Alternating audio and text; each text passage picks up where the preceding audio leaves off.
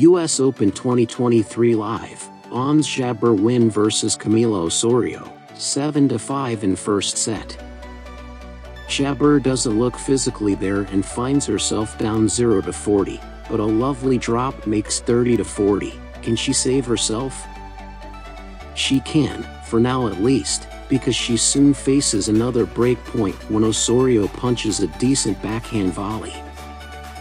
Ons, though, restores deuce, makes advantage, and when her opponent tries to up the pace, a backhand into the net, and that's the set.